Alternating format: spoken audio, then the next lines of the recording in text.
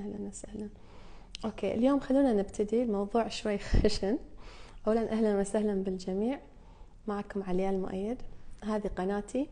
ومن هذه القناة أكيد اللي يتابعني يعرف أن بث الخميس بعض الأحيان أدخل فيه آه، في مواضيع شوي أعمق. تخلينا شوي بس نفتح مداركنا ونبدأ نتوسع ونفكر شوي آه، نفكر بدرجة أعمق.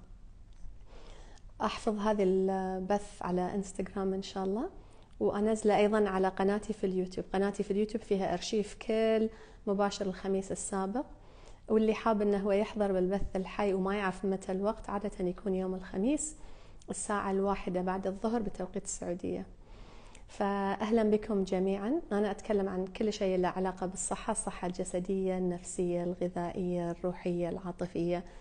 كل شيء يجيب لك صحة. واللي يعرفني يعرف أنتم أكيد إذا تتابعون تعرفون إن بعض الأحيان أدخل في عمق في في مواضيع شوي روحانية أكثر مواضيع الأحلام مواضيع العقل الباطن عشان الواحد يبدأ يفهم نفسه لأن الأمراض كلها تأتي كثير منها تأتي خلينا نقول أنا أحب إني أقول كلها لأن أحس انها هي كلها بس خلينا نقول عشان يعني النسبة. معظم الأمراض تأتي بفكرة أو شيء انقال لي سمعته نمى عندي أو ذكرني بأشياء داخلية مؤلمة أنضرب على المستوى النفسي المستوى الروحي وبعدين تبدأ المشاكل الجسدية أو تبدأ المشاكل تتجسد وتصبح مشكلة جسدية. فحتى أن أنا اليوم صوتي مبحوح شوي بس بحاول أكمل معاكم. قد تكون هذه المشكلة بدأت بفكرة أو بصدمة أو بشيء مؤلم حدث ضرب الشخص على المستوى النفسي والعاطفي وبعدها تجسد. وعندما يتجسد بعدين لازم نحل الاثنين لازم نحل المشكلة على المستوى العاطفي والجسدي المستوى العاطفي والنفسي ونحلها أيضا على المستوى الجسدي لأن لما صارت جسدية خلاص صار جسد فما يصير بس أشتغل على النفسية وما يصير بس أشتغل على الجسد لأنهم كلهم مرتبطين ومتشابكين وصايرين شبكة كاملة من الأحداث اللي التي تحدث لي. اليوم بغيت أتكلم عن موضوع الحضانة آه، ومو الحضانة اللي تخيلونها عن موضوع الحضانة آه، خلينا نقول الواقع اللي إحنا فيه اليوم إحنا في مستوى الحضانة مستوى الأطفال اللي بمستوى الحضانة. شفتوا أنتوا أول تدخل الحضانة بعدين تروح أول ابتدائي بعدين تروح ثاني ابتدائي وكذا وترتفع. إحنا اليوم واقعنا اليوم هو واقع يشبه واقع الأطفال الصغار كلش اللي في الحضانة اللي لازم كل شيء يكون مهيئ لهم عشان ما يضرون نفسهم. خلوني شوي, شوي أشرح أكثر. أنا في البداية قلت أن الموضوع اليوم خشن وتحتاج أن أنت تكون مركز وشوي العقل يكون منفتح. بس بقول لكم حبل أفكاري. تعرفون أن أنا في السابق تكلمت عن البعد الثالث والبعد الرابع والبعد الخامس؟ أظن كان عندي حلقة من سنة أو سنتين اسمها البعد الخامس. و اللي حاب ممكن يرجع لها وبعدين يرجع حق هذه ويقارن المعلومات. إحنا الآن ما يحدث لنا الآن واقعنا اليوم يعني يعني واقع ما تراه اليوم وما تستشعره وما تجذبه هو واقع أنا بسميه البعد الثالث ولكن هي أبعاد كثيرة وصعب إن إحنا نحط عليها أرقام بس بنسميها البعد الثالث عشان أقدر أنا أشبهها ببعد الحضانة. شنو معنات بعد الحضانة؟ معناته إن أنت لما تكون في الحضانة في صف الحضانة يعني وطبعا احترامي الشديد مع للبشرية كلها ولكن أنا منهم يعني أنا بعد في الحضانة وياكم يعني. فبعد الحضانة شنو؟ لما تكون في الحضانة يتأكدون إن دائما كل شيء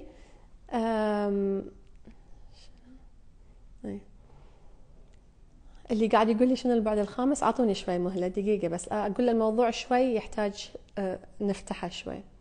لما تكون أنت في صف الحضانة كل شيء حوالينك في محيطك في الحضانة متأكدين إنه هو مو خطر عليك. مو خطر عليك. يعني ان حتى إذا رحت أي مكان أي زاوية في الصف ممكن إن أنت تاخذ شيء وتلعب فيه وعادي. ما يحطون لك سكاكين وأشياء حادة وأشياء خطرة عليك وأشياء ما تقدر تاكلها وما تقدر تبلعها وموجودة قدامك وأشياء آه، سامة وأشياء. لا يحطون لك أشياء مناسبة لعمرك عشان أنت ما تتضرر. إذا في زوايا حادة ممكن إنهم حتى يغطونها بفلين ولا بأشياء عشان أنت ما تتضرر. ما يحدث لنا اليوم في واقعنا اليوم إن إحنا كأن الله مهيئ لنا بيئة بيئة صف الحضانة. ليش؟ لأن لو فعلا نطلع إلى الواقع الحقيقي سنتضرر. بقول لكم ليش. فإحنا في البعد اللي إحنا فيه الآن أو في الواقع اللي إحنا فيه خلينا نقول لما تيني فكرة لا تتجسد هذه الفكرة مباشرة أمامي. أوكي؟ فممكن أن أنا يكون عندي آه، نية أني أسوي شيء. أقول أنا بسوي الشيء الفلاني ولا أنا بجيب الشيء الفلاني. وهذا الشيء عشان يتراءى أمامي أحتاج يمكن شهر شهرين يعتمد أنا إيش كذا اشتغلت عليه يعتمد. فبيني وبين الجذب مسافة ففي كأنه تأخر في الوقت. فأنا اليوم أبي هذا الشيء بس ما يطلع لي في وجهي مباشرة. صح؟ يعني هذا الشيء متفقين فيصير كأنه في لاج كأنه في فترة زمنية بين الفكرة وبين تجسدها بين ما تحدث هي أمامي. لذلك في بعض آه، خلينا نقول في بعض المدارس يسمون هذا البعد البعد الثالث. لأن المسافة بيني وبين أفكاري في بينها مسافة فأنا تيني فكرة بس ما تتراءى لي أمامي مباشرة. في الأبعاد المتقدمة شوي أكثر في البعد الرابع والخامس والسادس وفي ناس يقول لك ما ندري أصلا إيش كثر أبعاد وفي ناس يقول لك حتى وأنا سويت حلقة على هالموضوع إن مثل ما إحنا قاعدين نتطور كبشرية الكون أيضا قاعد يتطور وقاعد يبني أبعاد ويتطور بهذه الأبعاد وإحنا قاعدين نتكلم الآن. يعني مثل ما إحنا قاعدين نتطور الكون أيضا يتطور. ففي فكرة تقول لك إن ما في أبعاد محدودة لأن أصلا الكون أيضا في توسع مستمر مثل ما إحنا دائما في توسع. خلونا من هالموضوع. الحين إحنا في level الحضانة okay؟ في مستوى الحضانة اللي لما أنا أفكر في فكرة مو مباشرة تجيني تطلع لي في وجهي. خلينا نروح بعد آخر. خلينا ناخذ كمثال. لما نكون في عالم الأحلام لما أنا أكون قاعدة أحلم أنا رحت إلى بعد آخر مكان آخر. هل هو حقيقة ولا غير حقيقة؟ ما نعرف. هل هو العقل الباطن ولا العقل الواعي ولا العقل يمكن ذاك الصج وهذا الحلم؟ ما نقدر إن إحنا يعني نثبت على شيء لأن ما نعرف كفاية عن العقل الإنسان كيف هو يتطور وما يوجد بداخله. وش كثر قاعد يعكس من داخله المهم؟ قصة طويلة بس أنا تكلمت عن هالموضوع في دورة الحالمون ودخلنا فيها أكثر شوي إن بدينا نحاول إن إحنا نوعى في الحلم. فعشان أنت تكتشف إن أنت قاعد تحلم تعرفون بعض الأحيان واحد لما يكون يحلم ويقول لحظة يمكن أنا قاعد أحلم فيكتشف في الحلم إنه هو يكون قاعد يحلم. ففي هالحالة هو وعى في الحلم. لما يوعى في الحلم هو كأنه وعى في بعد مختلف. فأنت تكون بكامل قواك العقلية ولكن في بعد مختلف. انت أنت نايم جسدك نائم ولكن وعيك في مكان آخر. في هذا البعد في عالم الأحلام لما تفكر في شيء سيدة يتراءى لك. خلينا نقول أنا والله في الحلم ووعيت في الحلم أو حتى ما وعيت في الحلم حتى بس قاعدة أحلم. خاطري في آيس كريم بيطلع لي آيس كريم مباشرة. فكرة تجلي فكرة تجلي فكرة جذب فكرة تجلي. يعني أول ما أفكر في شيء يتراءى لي فهذا هذا البعد يسمونه uh, thought responsive reality. معناته أن هي هذا الواقع يتفاعل مباشرة مع أفكارك. فتيني الفكرة ويحدث هذا الشيء. ففي أبعاد مختلفة مو بس في الأحلام. إحنا الحين في هذا البعد في هذا الواقع. فأنا واقعي اليوم إن أنا خاطري في شيء أقول والله خاطري في شيء. ما يطلع قدامي مباشرة لأن عندي عامل الزمن في هذا البعد. فأحتاج إنه يا إن أنا مثلا أوه والله مشتاقة حق حق أمي ولا مشتاقة حق فلانة ولا مشتاقة حق فلان. أنا لازم آه، أتخطى آه، زمن وأتخطى مسافات. لكي أصل لهذا الشخص. بوصل له إذا خاطري أشوفه بوصل له ولكن أحتاج أن أنا لأن هذا البعد ما يسمح لي. أوكي؟ ولكن في أبعاد أخرى مو شرط تكون في الأحلام ممكن أن أنا أشبك فيها أحتاج يمكن درجة أكبر من التأمل أحتاج أن أنا أكون واصلة لوعي معين أحتاج أن يكون عندي استنارة معينة. يمكن أقدر أشبك ببعد آخر اللي فيه تفاعل أكثر مع أفكاري أو فيه استجابة أكثر لأفكاري. أوكي حلوين. ما لخبطتكم للحين. في هذه الأبعاد لازم أكون عندي القدرة الكبيرة على التحكم في أفكاري. إذا أنا رحت بعد ثاني لذلك مثلا خلينا نقول أنا وعيت في الحلم. وقلت أوه أنا الحين أكيد بيطلع لي وحش. أكيد أنا بتضرر الحين. أكيد بيطلع لي أحد بيضرني. بيطلع لك أحد وبيضرك. في الحلم لأنه هو يستجيب لأفكاري مباشرة يستجيب لأفكاري هذا البعد. ولكن أنا اليوم في هالبعد اللي أنا قاعدة فيه اليوم في هذا الواقع اللي قاعدة فيه معاكم أنا معززة مدللة. أقدر أفكر في أسوأ الأشياء وأمحيها من أفكاري قبل لا تتجلى. يعني أقدر أن أنا أفكر فيها قبل لا تصير أقدر أشيلها وأفكر في شيء غيرها وفي شيء غيرها وفي شيء غيرها آه، عشان ما يتراءى لي في المستقبل يكون أخف علي شوي. فالله سبحانه وتعالى حطنا في هذا البعد كأنها كأنه واقع تدريبي عشان أنت تتدرب. أن تشوف إذا أفكارك كلها إيجابية ترى واقعك بيصير أجمل وأجمل وأجمل. بس عندك هالمسافة عشان أن أنت يمكن في بعض الأحيان تكون أفكارك سلبية يمكن بعض الأحيان يكون عندك غضب يمكن بعض الأحيان يكون عندك آه، خوف من شيء. مو كل دقيقة طالع لك هذا الشيء اللي يخوفك. فكأنها كأنه واقع تدريبي كأنه حضانة كأنه صف الحضانة اللي أنت تبدأ شوي شوي تتعلم شلون تيود المقص تبدأ شوي شوي تتعلم تستعمل مهارات الكتابة مهارات أياديك. تعلم شلون ترسم. مو أي شيء تسويه ممكن أنه هو يضرك. مو كل شيء في هذا الواقع ممكن أنه هو يحدث يحدث لك ويضرك جسديا أو يضرك نفسيا أيضا. لأن أنت ممكن تنضر نفسيا ممكن تخاف.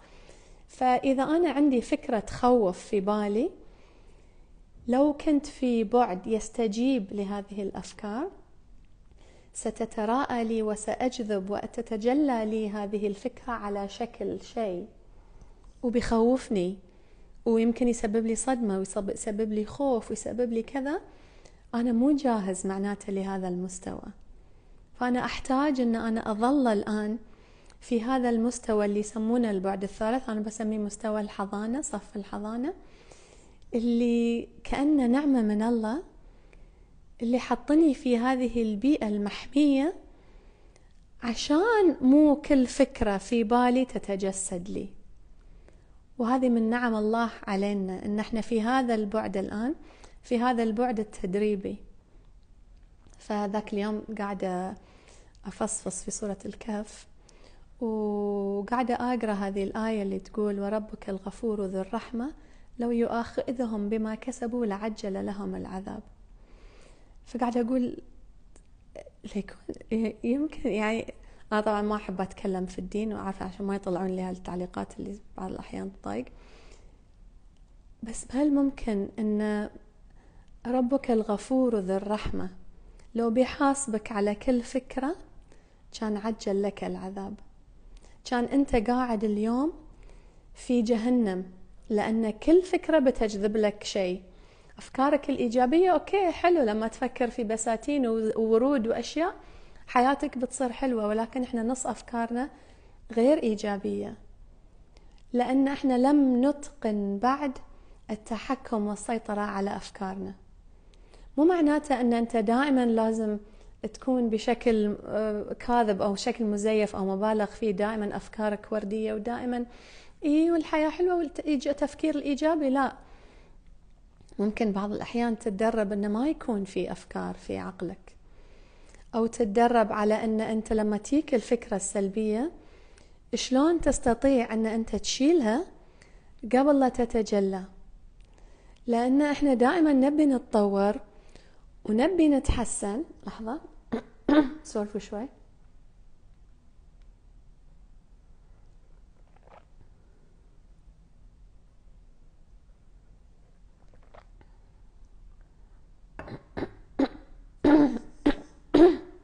عفوا. فإحنا دائما نبي نتطور ونبي نتحسن خاصة آه، عالم تطور الذات. في كثير من المختصين اليوم اللي يبون يتطورون يبون ينتقلون يبون يروحون أبعاد أكبر أعلى ولكن هو غير جاهز. فرحمة لك أنت موجود اليوم في البعد الثالث. لو ما كنت موجود في البعد الثالث لحظة نعم؟ تعال. قاعدة أصور. ما عليك قاعد. ما فلو ما كنا إحنا في البعد الثالث كان هذا التطور يوصلنا إلى مستويات أعلى تخلينا نجذب كل أفكارنا بشكل متواصل. فهذه رحمة من ربي. رحمة من ربي عشان ما يتعجل لي العذاب. فأنا قاعدة أتعلم الحين إنه يكون عندي سيطرة. يعني الواحد لما يتعلم إنه قاعد يسيطر على أفكاره وعلى مخاوفه حتى. لأن إذا أنت دائما خايف وهذا اللي شفناه أثناء الجائحة إذا دائما خايف دائما بتجذب أشياء تخوف. لو أنت في بعد ثاني كان لو بعد آخر يعني قصدي كان دائما عندك آه، آه، هذه المخاوف تتجلى في أشكال وأجساد و, و آه، وظروف تعكس لك هذا الخوف. وقد يكون هذا الشيء حدث. يمكن نقول إن حتى الجائحة يمكن هي استجابة آه، جمعية لهذا الخوف اللي بداخلنا. استجابة جمعية انه صار في لأن إحنا الحين دائما قاعدين نتطور صح؟ فالبشرية قاعدة تتطور فقاعدة تتطور من قاعدة كأن الجسم قاعد يتهيأ إنه هو يروح إلى أبعاد أعلى. وقد يكون أن من لن يستطيع المواكبة أو لا يستطيع مواكبة هذه الأبعاد سيبقى في أبعاد أوطى والباقي البشرية بترتفع بترتفع بترتفع مع تطور الكون والأرض والكرة الأرضية وكلها. هذه كلنا إحنا قاعدين نمشي كأن كرة ثلج قاعدين نتدحرج في اتجاه التطور. رضيت ما رضيت ولكن من يبقى في أفكاره بدون ما يسيطر عليها هو الذي يبقى آه، في هذا البعد من صف الحضانة.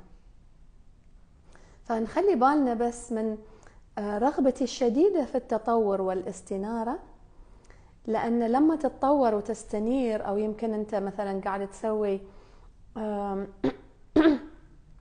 تمارين مثلا تأمل عميق ولا كذا ولا أشياء آه، تزيح عنك الغشاء شوي. لما تزيح عنك الغشاء أنت تبدأ تتطور وتبدأ تحلق خلينا نقول في بعد يمكن آه، أعلى شوي. ففي هذا البعد تصير حتى الاستجابة لأدعيتك تصير أسهل تجذب أسرع. تعرفون إحنا مع قانون الجذب الحين كل واحد يتحكى قانون الجذب قانون الجذب قانون الجذب. خل بالك أنت إذا قاعد تسرع الجذب عندك لازم تتأكد تتأكد أن أنت أفكارك صافية أيضا. لأن إذا سرعت الجذب معناته أن أنت دخلت آه، بديت تدخل في أبعاد أعمق شوي وهذه الأبعاد تستجيب وتتفاعل مع أفكارك فتبدأ تجذب كل ما هو بداخلك الزين والشين. فدائما لازم يكون عندك سيطرة وتحكم على هذه الأفكار عشان تقدر تواكب. فما يصير ما في أحد يقطونه في صف السادس مرة واحدة بين يوم وليلة. ما بيقدر ما تعلم ما قدر. ما عرف حتى أسلوب الكلام مع الناس اللي في الصف من هذا العمر. ما عرف شلون مفروض يكون شكله شلون مفروض تكون تصرفاته. ما تدرج بما فيه الكفاية لكي يصل إلى هذا المستوى. فانحذف انقط مباشرة فيصير صف السادس وايد يخوف. بس إذا أنت دخلت صف السادس بتدرج ممكن أن أنت شوي شوي تكون تعلمت. بريك فاصل إعلاني دقيقة.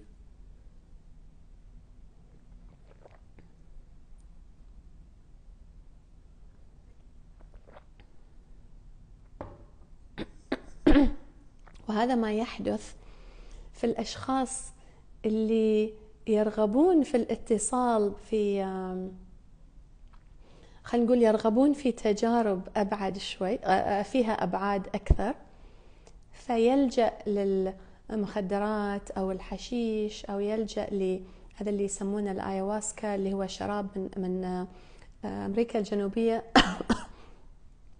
من غابات الأمازون اللي كأنه يزيح عنهم الغشاء في دقيقة يعني شربة و...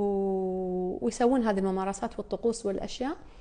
وكثيرين آه، يشتغل لهم يعني يعني يرفع عندهم الوعي بشكل كبير يزيح عنهم الغشاء بشكل كبير. طبعا بعدين ينصك يعني ولكن يكون عنده فترة زمنية معينة كم ساعة أو كم يوم اللي يزيد عنده شيء يسمونه دي ام تي اللي هو كأنه كأنه كيميكال في المخ. وبزيادة هذا الشيء يكون هو عنده القدرة على رؤية أشياء أعمق أشياء الماورائيات وكذا. ولكن هو إذا دخل على هذه التجربة بدون هذا التدرج بيكون كأنه واحد في الحضانة انقط في صف السادس ولا انقط في في التوجيهي حتى. مخيف بعض الأحيان وفي بعض الأحيان ناس يشوفون أشياء مو متعودين عليها. في ناس تجيهم إجابات في ناس تكون تجربتهم إيجابية ولكن في ناس أيضا تجربتهم صادمة ومخيفة ويتعقد ويخاف ويتأدب. لأن أنت كنت في الحضانة. لا تروح وتركض تروح مستوى آخر.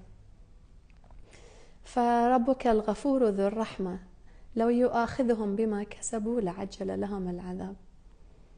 يعني لو أنت كل فكرة تتحاسب عليها الحين كان تعجل لك العذاب. لو كل مخاوفك اليوم تتحاسب عليها الحين لعجل لكم العذاب.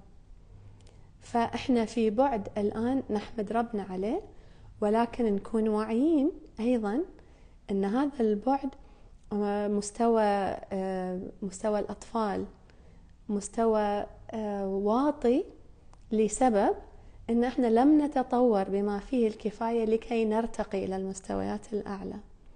ما زال عندنا حقد ما زال عندنا كره ما زال عندنا نميمة ما زال عندنا جشع ما زال عندنا بلاوي طبعا ما في داعي أقول لكم يعني. فلو تطورنا الحين إلى هذا البعد سنرى العذاب. بس إذا ما تطورنا أيضا سنبقى في البعد الثالث في الحضانة ويمكن أن العالم كله سيتطور بدوننا. والناس بتمشي والكون سيتطور والكون سيذهب إلى أبعاد مختلفة اللي فيها نعم أكثر وفيها تجلي أكثر وفيها جمال أكثر.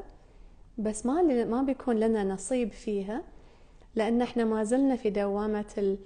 آه أنت طفل آه ما زلت لا تستطيع أن ترى كل ما يدور بداخلك. لا تستطيع أن تكون في بيئة تستجيب لما بداخلك. بين كل فترة وفترة ندخل. أنتم تعرفون بين كل فترة وفترة نمر بشيء ونحس أوف هاي من وين يعني هذه استجابة لما بداخلك. فإلا من أتى الله بقلب سليم القلب السليم والنية النظيفة هي اللي تساعدك إن لما تتطور ولا بد إن إحنا بنتطور لأن إحنا كلنا ماشيين في هذا الاتجاه. الفرق إن إحنا بنتطور وبنروح لمكان آخر ولكن اللي مستعد لهذا التطور سيكون في الجنة. يعني سيشعر كأنه في مكان جميل. ومن لم يستطع أن يواكب هذا التطور سيشعر بالعذاب. حتى لو ما ساكنين في نفس البيت. ممكن انهم ساكنين في نفس البيت. بس الاستجابة لهذا الشيء. فإحنا اليوم آه، شنو يعني اللي أنا قاعدة أحاول أقوله؟ قاعدة أحاول أقول إن إحنا في ما زلنا في مستوى آه، جدا بسيط من تطور البشرية. ورانا شغل وايد. نحتاج إن إحنا نشتغل على روحنا وايد. ونحتاج إن إحنا نتعلم شلون نفكر شلون نتحكم ونسيطر على أفكارنا. ونحتاج إن إحنا نتعلم شلون نحسن وننظف النية والقلب. فهذا ما نحتاج أن نفعله. في هذه الأثناء إحنا نعيش في رحمة من ربي إن أنا آه إن أنا ما قاعد ينعكس لي كل شيء آه وأنا أفكاري ما زالت في مستوى الحضانة. ليه ما أطورها شوي شوي بعدين أتحسن فيها بعدين ممكن أن أنتقل. ولكن كلنا نحتاج مو بس أوه والله يعني الحمد لله عيل خلاص. بس أنت أنت إذا تمينا ما بنواكب هذا التطور الذي يحدث. ويمكن في جزء من البشرية هذه الحين أنا استنتاجي. ممكن أن في جزء من البشرية سيتخلف ويبقى في الوراء ولن يستطيع أن يتطور مع الباقي. سيبقى في دوامة الخوف اللي عنده ما أقدر أحتاج أوصف لكم مستوى كمية الخوف اللي صارت في الآونة الأخيرة وما زلنا. القلق والاكتئاب زايد الخوف الهلع أعمار أصغر وأصغر مراهقين ما يعني اليوم مراهقين حتى إيش عندك؟ خايف من شنو؟ لا خايف وفيني هلع وفيني قلق وفيني كذا. فأحس إن هذه الأشياء اللي كانت أول تصيد ناس أكبر قاعدة تصيد ناس أصغر لأن آه، الكرة الثلج قاعدة تتدحرج بشكل أسرع. فحتى إذا أنت ما تبي تتطور أنت مضطر أن أنت تتطور. فأنت رايح رايح في هذا الاتجاه. لحظة.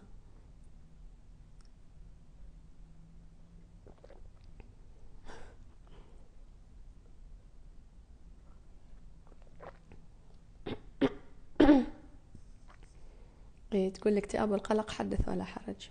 صح. ليش؟ لأن إحنا قاعدين نتطور ويمكن على مستوى معين قاعدين آه، نوصل إلى أبعاد أعلى وإحنا ما ندري. فمحيطنا يمكن يكون في بعد أعلى شوي. ولكن أنا في داخلي كثير من الخوف والقلق ولا. فهذا ما يتراءى لي وما أجذبه وما يتجلى لي آه، طول الوقت. فأتم دائما خايف. لأنه ينعكس لي. ف... فيصير كأن أنا ميودة مرآة كأن عندي مرآة في يدي. وكأن كل دقيقة لبست ماسك يخوف. وأنا عندي مرآة. كل دقيقة تشوف روحي وأتخرع وتشوف روحي وأتخرع وتشوف روحي وأتخرع لأن الحياة تعكس لك ما بداخلك صح؟ فنقول له إنزين هي بتعكس لك بتعكس لك. شيل الماسك. غير ما بداخلك عشان ينعكس لك شيء أحلى. فنحتاج إن إحنا نتطور كمجتمع وأحس إن في فئة كبيرة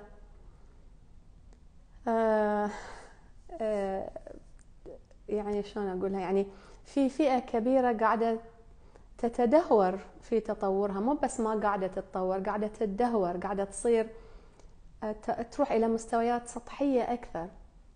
قاعدة تفكر في الفلوس فقط تفكر في الشكليات الجماليات المقتنيات الهدايا إيش كثر بسوي إيش كثر بصور إيش كثر فولورز إيش كثر كذا إيش كثر كذا. فهذا يوطيك مو معناته الكل اللي في هذا المجال ولكن أنت يعتمد شنو في داخلك. فهذا يوديك إلى مستوى أوطى. الهدف هو أن أنت تصل إلى مستوى تستطيع أن تتحكم فيه بكل ما بداخلك وتستطيع أن حتى أن أنت تغلق أفكارك حتى لو لفترة بسيطة. عشان تقدر تجذب وتقدر تعلى شوي يصير في هذه القفزة في الوعي. ف خاف أتكلم زيادة وبعدين أكح. فأتمنى أن هذه الحلقة وصلت حتى لو على مستوى أبسط حتى لو على مستوى بسيط. أنا بروحي هذا الموضوع قاعدة أفتش فيه وقاعدة أفتحه. إذا إذا حسيت أنه إن عندكم مداخلات على هالموضوع حتى لو آيات قرآنية حتى لو أجزاء من آه، أديان ثانية حتى لو مقولة هني ولا هناك. تذكرنا بهذا الشيء إن إحنا أنت الهدف الأخير هو آه، تصفية النفس. لازم تصفي نفس النفس لأن النفس صفاء النفس هو ما سينعكس لك لما تتطور وإحنا قاعدين نتطور. إن شاء الله ما لخبطتكم زيادة. بس ودي إن نفكر مع بعض. خلينا نفكر بصوت عالي. حطوا لي تعليقاتكم بحفظ هذه الحلقة. حطوا لي تعليقاتكم على هالموضوع. ودي أعرف أنتوا وين تحسون شو تحسون؟ هل تحسون موضوع كل الشاطح وما سالفة عليه ولا تحسون أن نعم أول مرة أفكر في موضوع ولا نعم أنا داخلة ومتعمقة في هالموضوع. ودي أسمع أكثر. فبتشوفون أن في ناس يسمون البعد الثالث والرابع والخامس والكذا وهي كلها أسماء. وأحس أن هي كأنها ميداليات أن أوه أنا بروح الرابع ها بروح الخامس بروح هي مو فعلا كذي مستويات يعني هو وعي مستوى وعي. ينظف لك من الداخل وتستطيع أن تكون في هذه الحياة الدنيا ولكن بمستوى أعلى. أو حتى في الآخرة يمكن أنت مستوى نظافة القلب تحتاج أن أنت تكون عندك هذا القلب السليم لكي تنتقل وتكون مرتاح في الآخرة. فهو كله يقول لك إيه الآخرة مهمة الآخرة مهمة. إيش سويت يا أخي حق الآخرة؟ إيش سويت؟ نظفت قلبك سيطرت على أفكارك تعلمت شلون آه، تستبدلها بأشياء ثانية. لو الحين واقعك اليوم يكون انعكاس كامل لما بداخلك الآن. إيش بيطلع لك الحين؟ شنو بيطلع لك؟ فخلونا نبدأ نفكر مع بعض. حطوا لي تعليقاتكم. بحفظ الحلقة على الانستغرام. أنتظر تعليقاتكم. ترى ودي إن أنا أقرأ بس صعب جدا إن أنا أتكلم وأقرأ. ولكن بنزلها أيضا على يوتيوب فإذا شفتها على يوتيوب أيضا حط لي تعليق. بقرأ تعليقاتكم. ولا تنسون تشتركون في القناة. لا تنسون ترسلون هذه الحلقة لأشخاص تحسون ممكن ينتفعون منها. وبس واللي حاب إنه يدخل في العمق دائما ترى عندي منصة عليا أكاديمي أكاديمية عليا عليا أكاديمي دوت كوم. فيها دورات وتأملات وكورسات آه، على كل المواضيع اللي لها علاقة بالصحة. فأشوفكم على هذه المنصة إن شاء الله. مع السلامة.